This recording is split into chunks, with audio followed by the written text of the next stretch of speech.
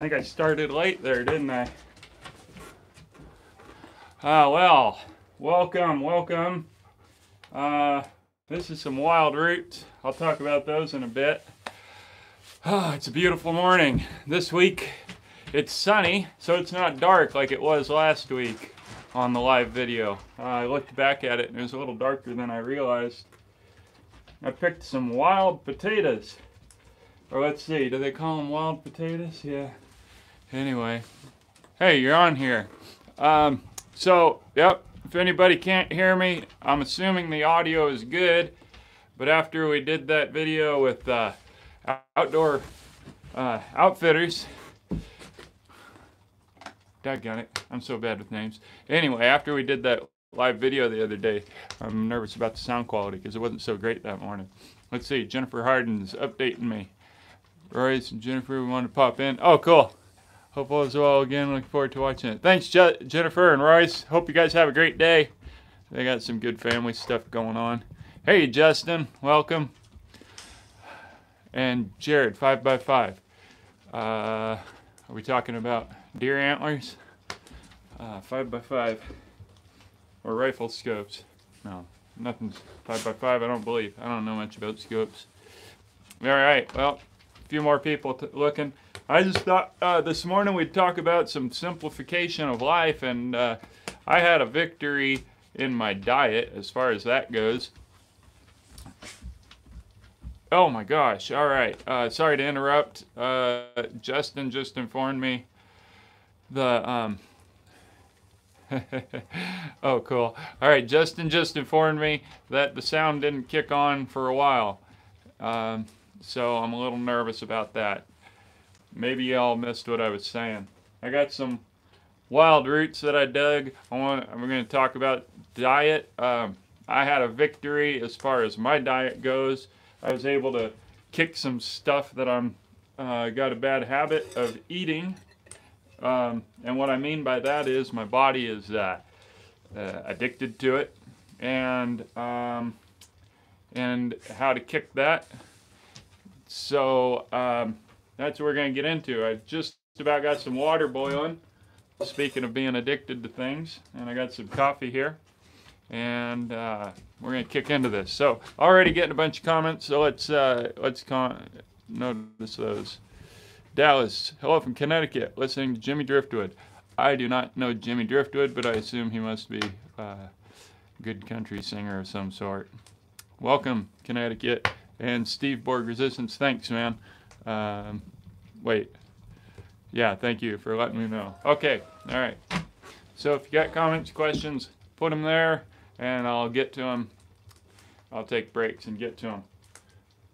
Meanwhile, I'm uh, I'm listening to. I'm cooking some meat on the stove, so I hear that boiling. I think it's my coffee. So, simplifying the diet has been an ongoing process. Uh, when I moved out, this way. Food, obviously, was the main thing. And in my shed, it was, uh, I think it was, it was 10 or 12 feet wide, and I had a whole uh, row of shelves and kitchen stuff. And it was just full of food. And it stressed me out all the time, thinking, man, I don't want to have all this 50 different items that I got to buy when I go to town. And because I was constantly running out of stuff, and so you got to go to town to replenish and it was really hard to get stocked up ahead. So my route of handling that was to just keep start cutting out as many foods as I could, and uh, little by little I cut it down uh, to the most recent where I quit making bread. Bread, my bread that I've made videos on, was what I ate for breakfast, and then uh, for dinner and lunch I'd eat bread again, and then uh, some kind of meat but then I decided, you know what? What if I just cut out the bread? I just ate meat and rice. And so I also at that time cut down to uh, two meals a day. So I eat around eight or nine in the morning, and then I eat around one or two in the afternoon. That frees me up for dinner time. Oh, it's so great to get to like 6 p.m. And when I normally think, okay, now I have to stop what I'm doing and cook and eat, instead I'm I notice, hey, I'm not even hungry, and now I don't have to interrupt what I enjoy doing because this time of year, right before sunset, is my favorite time to be outside.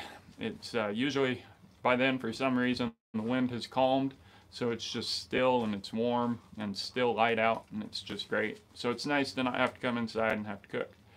Um, so that's how I've simplified things. And uh, even then, I even made a video where I talked about, I even cut out the sauce because now what I eat is meat and rice. Well, I'll get to the rice. I eat meat and or meat and rice in the morning, and then I would make my own sauce out of it. I'd add um, olive oil, soy sauce, barbecue sauce, black pepper, and salt, and it's really good uh, when you get the levels right.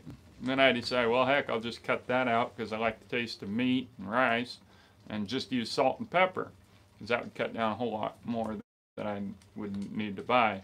But then after a while, sometimes the meat didn't taste that great, or it was kind of bland, or if it got too dry. And so I have some Worcester sauce. I thought, I'm going to see what this is. So I put some of that on. Worcester sauce is amazing.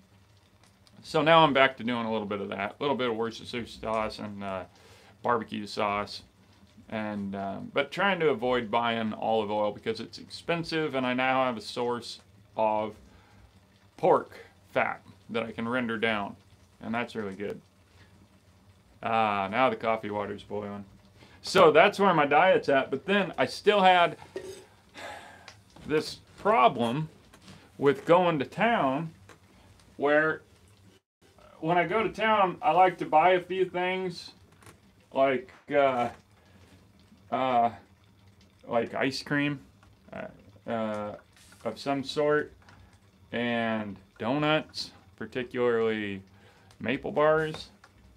And uh, let's see, what's the other one that I really fall for?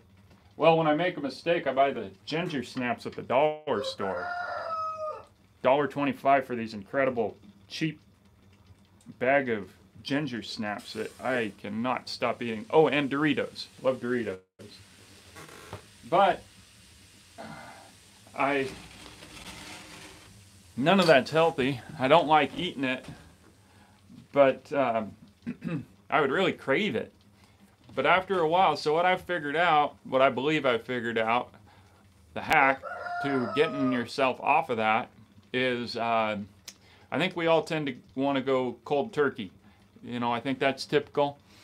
And that's not necessarily the best because what happens is our biomes, getting all technical now, our gut biomes, they develop and get used to the food that we give it. That's why we crave things. And um, even healthy things. So, uh, I had a friend that we were friends with some vegans, and we were going over there for dinner, my buddy and I. And I am not vegan, never been, and I don't eat a lot of vegetables if I can help it.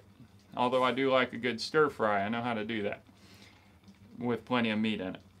And so we went over there because we're eating dinner. I wanted to show up hungry. And we showed up, and I was getting really hungry. I get low blood sugar, and then I start to get shaky. And of course, you know, you show up and they're not ready to eat right away. That's weird. You just show up, sit down. Uh, anyway, in my experience. And so finally, we get to eat. And they put this, some kind of vegetable compilation in front of me. And I eat it down. And I'm even more hungry at that point than before I ate it. And that was really strange to me. Uh, and meanwhile, my buddy, he was he eats vegetables all the time, and to him it was great. And so I think I went inside, if I remember right, and asked him, "Do you have any kind of bread?" Because they're also wheat free. So man, that was miserable. I think I ended up leaving and going to get something to eat because I just I was not to be because I was rude, but I was shaking. My blood sugar was so low, uh, and my head was getting light. Uh, anyways, perfectly healthy food. That's the point. But because I ate so little of it, my body didn't, uh, it wasn't what my body needed. that's my understanding of how it all works. And um, so that's how I was able to kick my junk food is that I used to go to town every few days, and when I go to town, I'd buy some kind of food to enjoy. But then, because I'd stay out of, out here for a week or two weeks without even going to town, and eating more and more healthy here, my body got more used to it. I think my understanding, my biome got more used to it, so that then when I went to town, there was a time like I really noticed it where I thought about Doritos.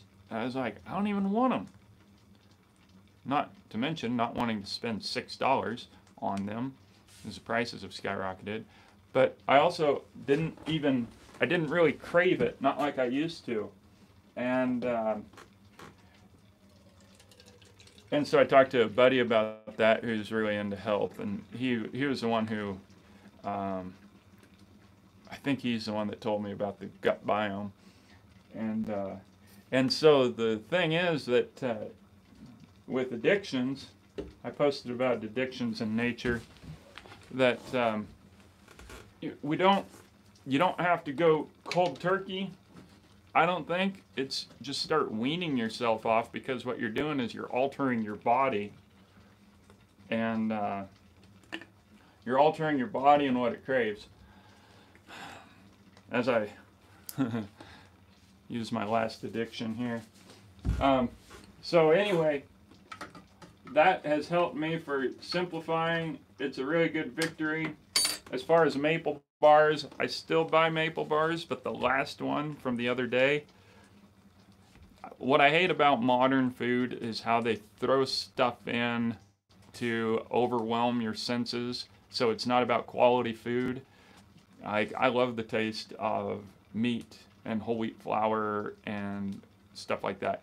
So if I add flavoring, it's just a supplement. It's not because I don't like it. Anyway, to me, modern food is more about punching you with some kind of flavor, and most of it's not even sugar anymore, but like corn syrup and sweetener. And uh, so I was eating this maple bar. They're good quality maple bars. Like it's a good donut shop. They're the only ones I. Well, they're my favorite ones to buy from. But as I was eating it, I was like, man, this maple, it's more sugar than maple. Like, I don't know if any of you remember, I don't have it on me. Didn't know I was going to mention it. I've got these little maple pucks. They're pure maple that have been dehydrated into kind of like a candy. And they're kind of hard to bite off a chunk. And they're so flavorful. They're just pure maple. My buddy sent them back, shout out to Chris, uh, from back east in Pennsylvania and they're incredible. Uh, the maple flavor is just so strong. I bite off. The first time I, I ate it, I took just a little nibble because I wasn't sure if I was allergic to it. And I was like scared to take a very big chunk. Now I'm a little more used to them, so I take a little bit bigger bites. But even still, it's like um, the size of a Skittle, maybe, or smaller that I uh, that I'll eat, and then I uh, I don't drink uh, eat it again for a while because that's the natural flavor. And so I like the flavor of maple. And when I get these maple bars, first off, they have about twice as much maple across the top than I would even want. I always think I need to scrape it off, but instead of messing with that, I just eat it. But anyway, my point is, last time I ate it, I was like, oh, this is just sweet. It's not even hardly a maple flavor. The bread is good. The way they do the bread is really good. But the maple is just sweet. And um, so that's the kind of things that you're looking for is when your body doesn't want it anymore. And when your flavor and your taste buds and your mind is like, I don't I don't even care for this. And if you pay attention to that, then you can start kicking things. Because otherwise, what we do, we just develop a habit like I have a habit now of stopping at these. There's two locations that sell those donuts that I go to. So if I'm in one town, it's a small town right by my main town, I'll just stop in and grab one. Or if I'm in the other town, if I'm near enough, nearby, then I'll uh, then I'll buy one there. And uh, so it kind of becomes a habit. Oh, that's just what I do now. So if you pay attention to your body and listen to it and don't just fall into the habit, then you can kick stuff. And uh, anyway, I hope that helps others. I'm really happy because I don't like. I grew up. I grew up in, with a lot of depriving, and I'm not. So I'm not into that. Where I don't know if it was religious or just my parents, but where it's like, no, you just can't have it. No explanation, no good reason. Just no, you just can't have all that stuff that you want. Like I say, I'm grateful for it now, but as a kid, it's tough. But anyway, and so I don't think that that's, in my opinion, it's not necessarily the way that we do. Just outright kick it. Like, no, you can have whatever you want. And that's the key. Watch your body because you may not want it. So if you can get rid of the want, then it's not something that you have to fight. Later on, I'll think of better words for this, but I think I'm making the point. You hear my rooster? I love that rooster. I'm so glad he's back. Um, so that's uh, that's a thing about kicking food. So there's a lot of people who like talking about simplifying. So that is a way to just kind of let your body work with your body to simplify your diet. And um, it might take a little while, but a lot of people aren't ready to just jump into bam, all of a sudden I have a simple life. You just got to kind of work through it little by little. Um, another thing I was going to talk about was vitamins. So now I'm no expert, I'm just passing on what I've learned from an expert. I have a friend from childhood who's a doctor now, and uh, great guy. He's actually extremely um, rational to talk to, like, uh, and so really appreciate the info that he puts, the input that I get from him. Because vitamins have been a, a big one for me. So we grew up eating, taking vitamins. My mom would give us five or six vitamins every morning. And uh, so vitamins to me are just part of my life. Supplements, and uh, or like when we get sick, the the go-to is popping vitamin C every hour, and um, I never stayed sick very long. You know, a couple times, but those are exceptions. And um, so then later on in life, start hearing, oh, don't take supplements, they're pointless. I thought, wait a minute. I'm not just going to buy that up right away. And this one gal, I don't know if she was a doctor or if she was training to be a doctor, but she said, uh, she said, "Yeah, you don't don't take vitamins. You just pee them out anyway, so they're pointless." I said, "Well, yeah, but you get a little bit of them, right?" She says, "Well, yeah, a little bit." I said, "Yeah, so if you take them repeatedly, then the little bit, little bit, little bit builds up, right?" I mean, I was asking her. It makes sense to me. Well, she gave me this look down her nose, like, "How would you dare to uh, question a doctor?" Like she gave me no response. She just stared at me, glared at me. and uh, her fiance at the time and I were pretty good friends, and now years later he has the same attitude. So not a lot of discussion with them, but she didn't answer my question, and it still made sense. And by the way, fast forward, I was right, and I'll get to that. Um, but not all the time. So I found out also vitamins can kill you. So don't don't in case anybody cuts off here and says, oh, okay, vitamins, tons of vitamins are safe. They can also kill you. So, um, but anyway, that question still remained like, well, how is it that supplements don't work? I just don't believe this. Because also, my eye doctor prescribed me supplements. He gave, he told me, because uh, I wanted, I asked him about macular degeneration, which is another thing that y'all should look out for. Everybody gets macular degeneration. It's just whether how bad it gets before you die. And uh, so I have a history of it in my family. So I asked him about it, and he prescribed me with these supplements.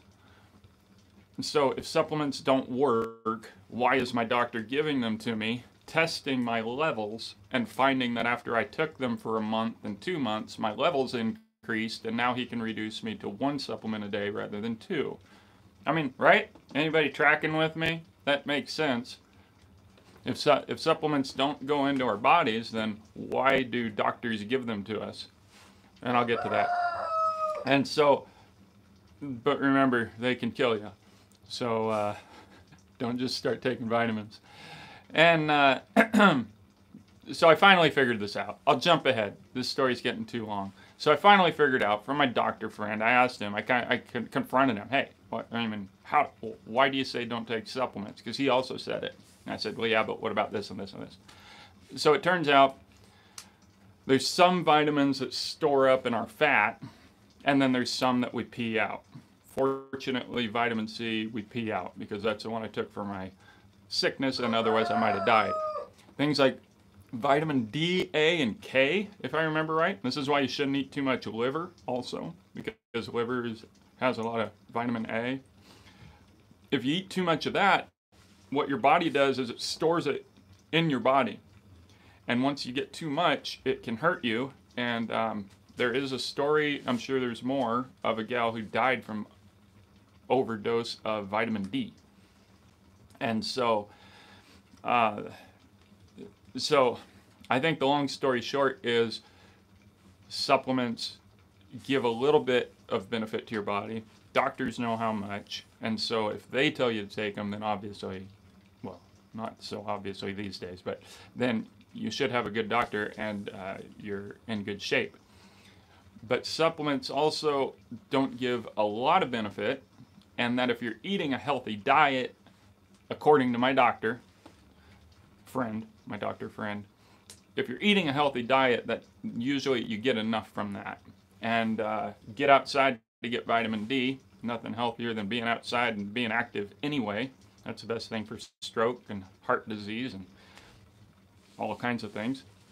And so, anyway, that's just a summary of what I've learned about vitamins lately, what I've put together.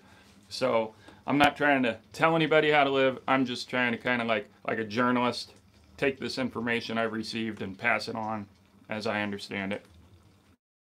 Uh, so uh, I just thought that's interesting. Uh, should help people.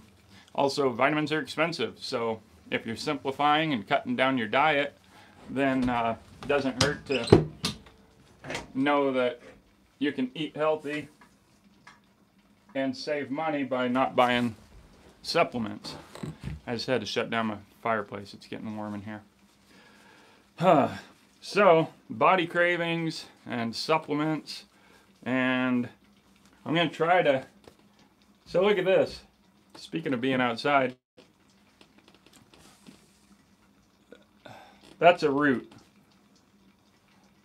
Hardly seems like it's worth going after, right?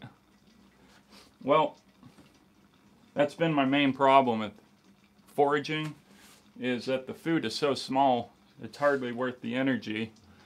And meat is really a lot more uh, food for the um, effort. But then I thought you know what? I'm in the shade over here digging these. What happens if I go over there where they get more sunshine? Because it's still early in the year there's not a lot of sunshine so that might make the difference the ones that actually get some. And it did. Look at this. Whoops.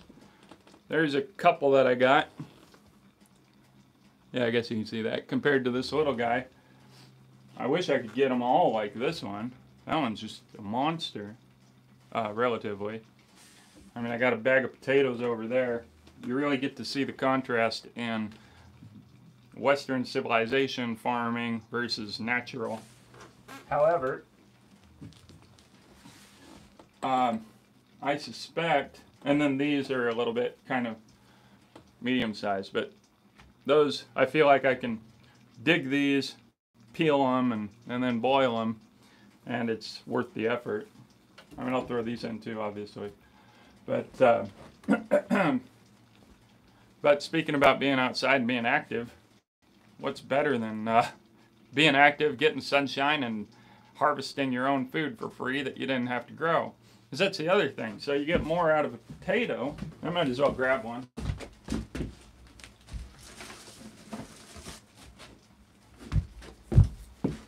You get more out of a potato than, well, I'm going to grab an average sized one because I don't know.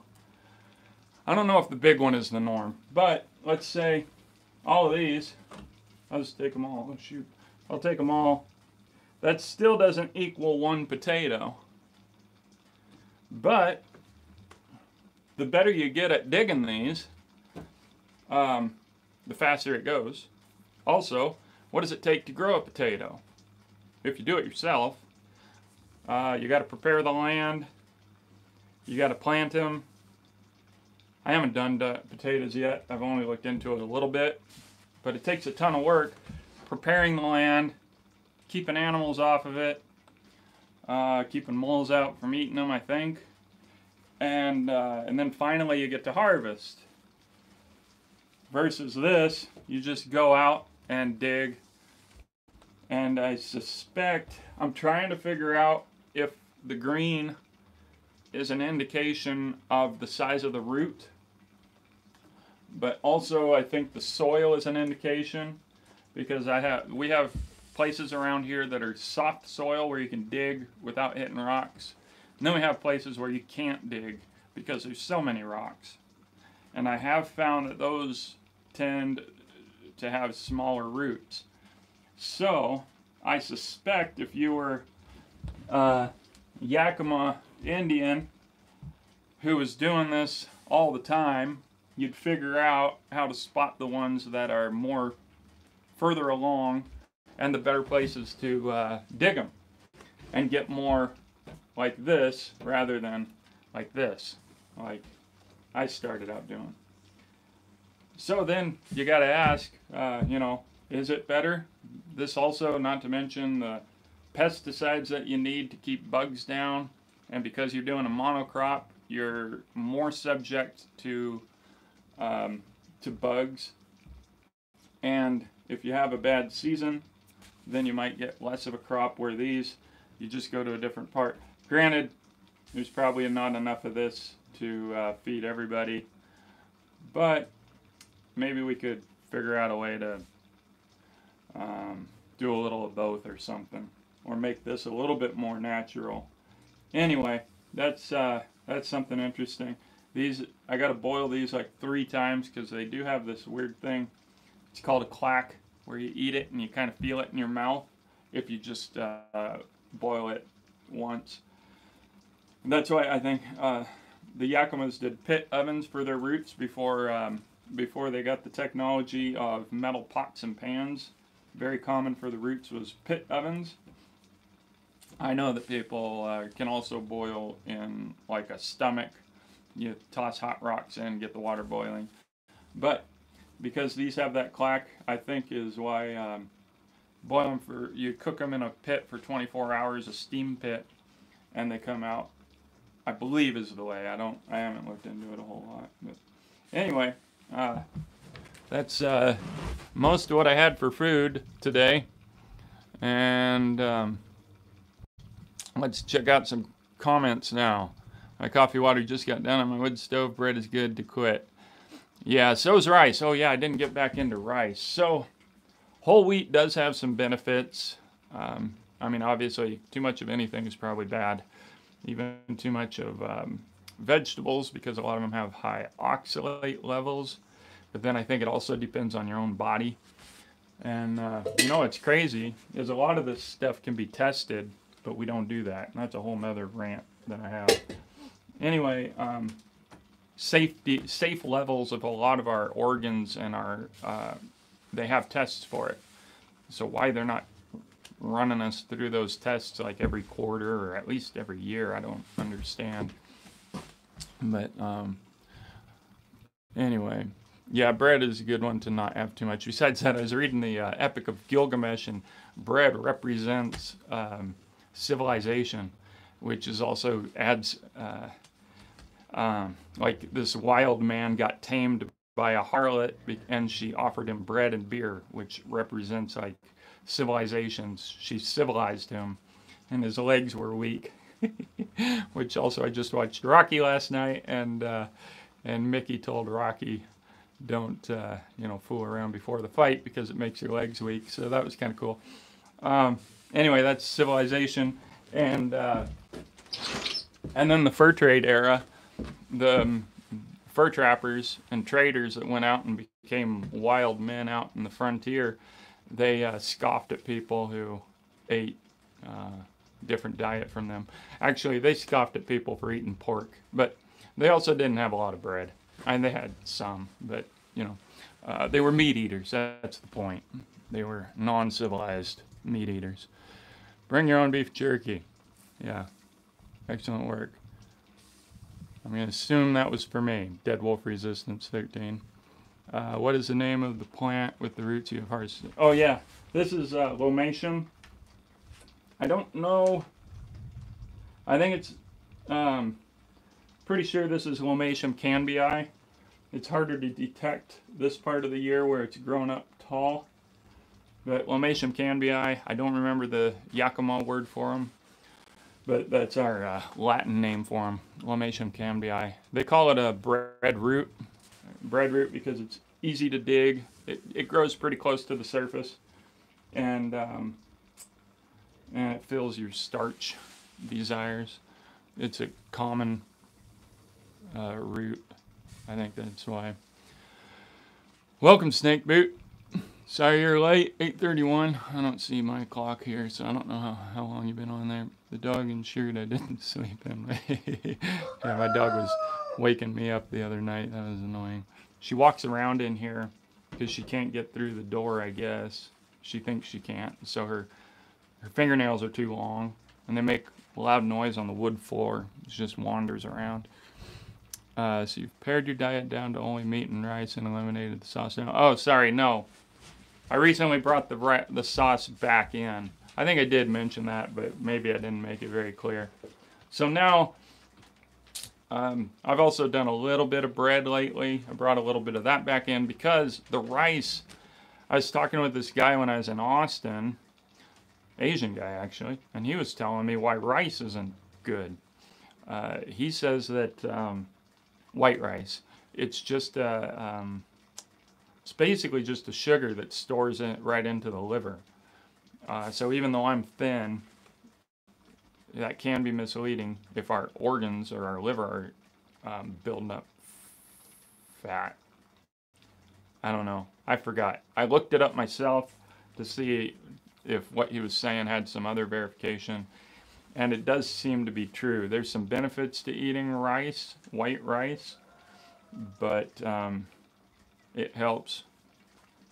But I am cutting it down big time.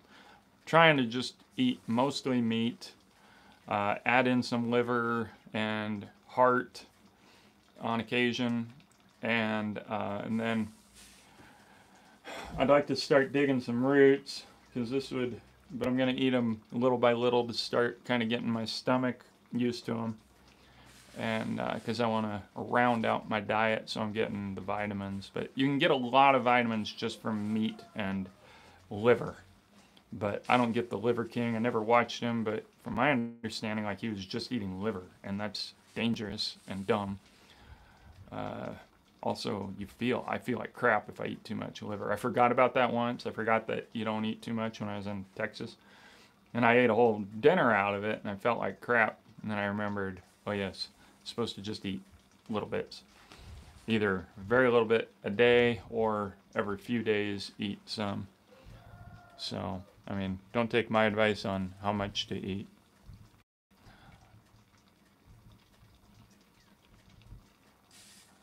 to yeah, um, Ukraine. I don't like the sauce, by the way. Sorry, going to go on more about that because even the sauce, like Worcester sauce, it has I think like the first or second ingredient is um, corn syrup and then sugar. Same with barbecue sauce. So I am looking forward to making my own. I get a bunch of tomatoes and stew them, and then um, there's actually some really strong seasonings out here that I want to start using more. I've saved them in the past. I haven't really added them into a continual diet so that I can just start seasoning without all the sugar that's really annoying. So, uh, all right, let's see. Snake boot, you've been sick. That sucks. Upset if they're yeah. That's the other time my dog moves around when she wants me to feed her. Yeah, that's tough. Well, I hope you guys get better. Uh, take some vitamin C. Haha. um, how was the meat drying? Um, uh, it's been okay. I got a bunch of liver here. liver is funny. I'll show you. I can't even pick it up. I can't pick it up. So I got this rack. Great for drying things normally. But liver, I found out, I had never really dried it before. When it dries, it crumbles like a old parchment. You know, you're an archaeologist, find a parchment, you got to be careful when it air gets to it because it'll crumble. so this stuff just crumbles, so I had to put some. Um, I've got some screen, a roll of screen, so I had to put that under it so that it would hold it because this rack is normally it would be a great size gaps, air gaps, but for the liver it just crumbles into dust. Not quite dust. Uh, but anyway, it's fine because it crumbles easily. I don't have to pound on it to use it, so that's kind of sweet. So I can just crumble it up and uh, throw it in my food. And um, I've got a ton of liver, so uh, I need to put it in a bag. I want to keep it separate from my other meat so that I don't overuse it. And uh, so that's why it's still sitting there. And I got more liver. I got more liver coming on April 15th. I got four beef livers. So I'm going to slice and dry those. And I'm going to have a ton of liver. Uh, so I'm excited about that. And then uh, that's like my vitamin supplements meat drying hasn't been good um, as far as the meat. I got some beef out there. I took off for Oregon right when it started warming up. So my meat sat here wet. And then I got stuck in Oregon, if you guys remember that. My truck got stuck. So I ended up staying there for like two weeks instead of four days, which was what I initially planned. Like if I had just gone for four days, probably would have been fine. I would have got here, would have dried it out, the exterior, not dried the whole thing, just the exterior. But instead, it sat for like two weeks, and then um, so I've been eating it for a while, but now I think all of it stinks, and my dogs wouldn't eat it. I was still eating it, but now I'm nervous too. So that's frustrating. Um, I need to get more meat, and then now it's the time of year where I got to dry it all. I can't leave it sitting out, so that, that kind of sucks. All right, more comments. Let's see. Oh, snake boot. Yeah, thanks for asking, Dallas, Dallas Farrell. He asked about drying, how the meat drying was going. Part of the reason rinse your rice, lots of starch. Oh, I didn't know about rinsing rice. Okay. Uh, snake boot says rinse the rice. Um, I heard about some kind of ancestral diet where you focus on the types of food you're specific. Oh yeah, I've heard about that too. But I don't I don't know that I believe that. I mean that came from holistic people. But I mean I don't know. I mean the way that I've got this great video where this guy uh, talks about how our gut biomes work. It's like two and a half hours long and um, you can actually change your gut biome. So, and oh, and he even talked about twins, how one twin and the other twin will have completely different gut biomes, or like 95% different. And so I don't see, and I could be wrong, this is just my rationale. I don't see how um, a thousand years ago your ancestors ate a certain diet how that would apply to how your gut biome is now.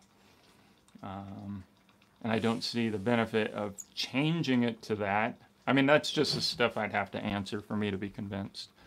Um, I feel like re- listening to your own body and checking out what kind of energy you get. Um, to me, that seems like the best. But I'm just speculating here. I'm no expert on this stuff.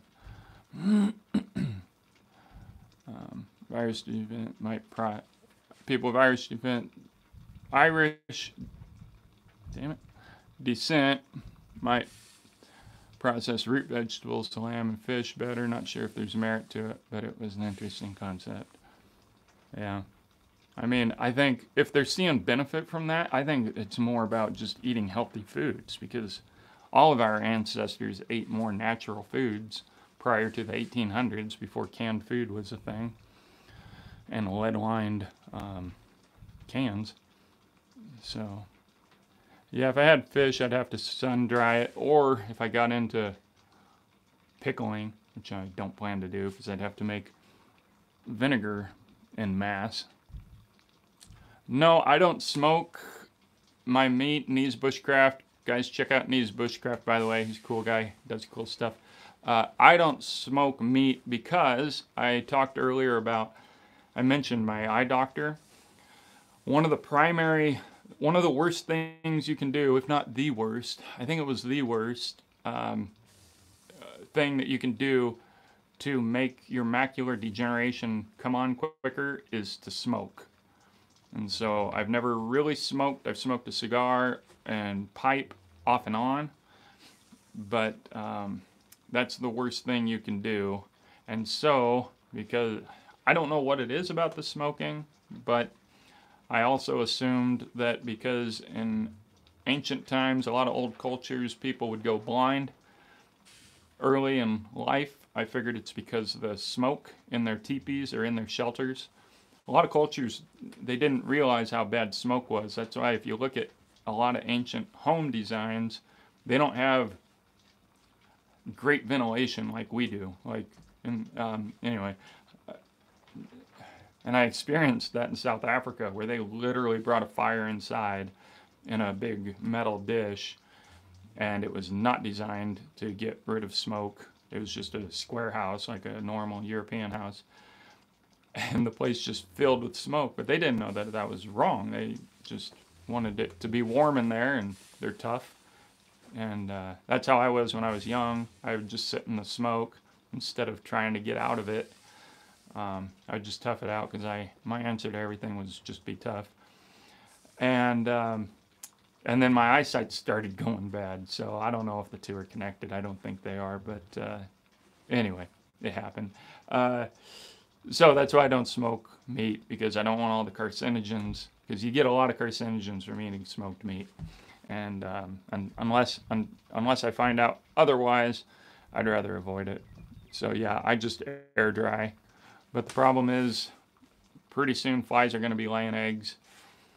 Uh, they already are, so now drying drying will have to be done inside but it's still not quite dry enough, uh, warm enough outside anyway. Um, Snakeboot says, I think that's the biggest thing, eating whole foods and less processed crap. That's been our focus last year. Yeah. Yep. And I don't know if y'all be like me, but man, I can't eat. I'm surprised I can eat Doritos. I think it's because I ate them regularly and my body is used to them. But I can't eat most foods. I get a can of um, anything that's got you know that long list of um, of uh, ingredients or even strawberries the type that are grown in california or mexico are garbage. They don't even hardly taste good when you've had a real strawberry. I used to grow strawberries in my yard and little strawberry was full of flavor versus what i call the apples that you get out of california. Great big strawberries but hardly any taste. I ate some of those and it made me sick uh, a couple weeks ago. They're like three bucks for a pound. So, yeah, I can't personally eat most foods. So, um, it, it, just makes me sick. So anyway, that's uh, that's my talk on food. I might do a devoted video to it eventually, because there are a lot of people that uh, are into simple living and eating healthy both helps you and simplifies your life. So, win win, in my opinion. All right, folks. Well, if there's no more questions or comments, then I might uh, check out. Um, I'm writing on Substack for those of you who care about civilization and cre- critique of modern society and civilization. Um, we have the Discord. There's a few people on there if you want to chat more. And not sure when I'm going camping, but my horses are coming along, and I'm kind of waiting to get my horses. Really, I mean, not not not that I'm trying to hurry them, but um, the camping. I've gone out for overnights around here, and um, kind of just waiting to get my horses and then go do. Assuming I'd be able to use them. Uh, hopefully they're coming along that well. And there's one, there's a desert trek that I want to do for like four days in May if the weather's good. Probably do it in May, if or if I have the horses. So anyway, that's the latest. That's what's on my mind. Um, thanks for joining, guys. And uh, yeah, whiskey is the cure-all. Just uh, you still have that nice Wade saddle, or did you end up selling it? I sold it. That was a beautiful saddle. I sold it, and then I was supposed to buy a historical saddle with the money so that I wouldn't just be depriving myself of the saddle. And then I couldn't find one. The prices had gone up, way up, understandably so. I mean, saddle making, there's not a ton of money in it to begin with. And then when their supplies go up. So I didn't get a saddle, spent the money, and then recently I bought that other saddle that I quite like, and it seems to fit my horse really well. So it all ended up working in the end, and I spent like 125 for it. So uh, life's good. Life is good. Things are good. Uh, it's a sunny day after being kind of cloudy for the last few days, so I'm excited for that, and I'm feeling better. All right, folks. Thanks for watching, and I'll see you next time. Remember, life's a lot more fun over on the wild side.